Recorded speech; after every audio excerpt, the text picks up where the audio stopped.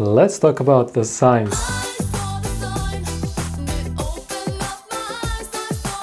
Which signs? The traffic signs? Or the weird ace of base signs? no, not those signs. Let's talk about the signs that tell us we should disengage from the prospect. Disengage from the prospect? This guy has got to be crazy. The question is not why, but really when. And to understand the when, we need to be able to recognize the signs. Sign number one is why do anything?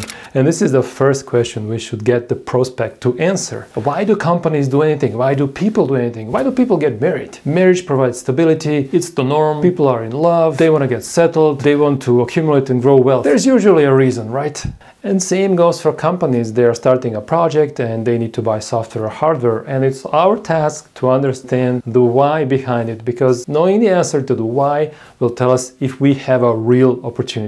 We get the answer to the why question from the EB, the economic buyer. And the first sign that we should disengage this prospect is if they can't or won't give us access to the EB so we can ask these questions. A surefire sign we should stop wasting our time. Hey there, my name is Sasha and I work as a senior sales engineer for a leading cloud software company. And I'm making this video in my spare time so I can help others become better sales engineers. You can help others too by liking this video and subscribing to my channel so YouTube suggests it to others too. Sign number two is why do anything now? Is there the urgency to make their purchasing decision? Going back to people getting married, they might be doing it because they are under time pressure, like they are pregnant, or anything else that gives them a clear time frame to say, I do. Same deal with the companies. And it's our task to find the answer to the question, why are they doing anything right now rather than in a year? And if we're not able to get this answer, it's probably a good sign that we don't have a real opportunity right now because they're not under time pressure.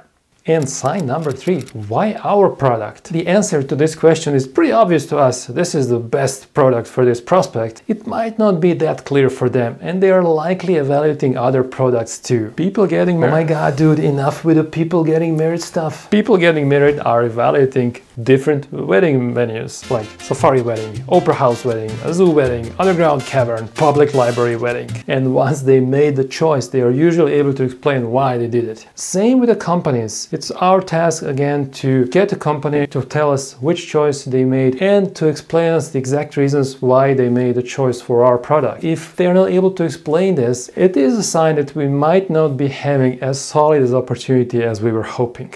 If you can get an answer to these three basic questions, it's probably a good sign that you're wasting your efforts. So it's time to move on to the next opportunity. Thanks for watching this video. Please make sure you like it and subscribe to this channel so you get to see more content like this. Stay healthy and stay tuned.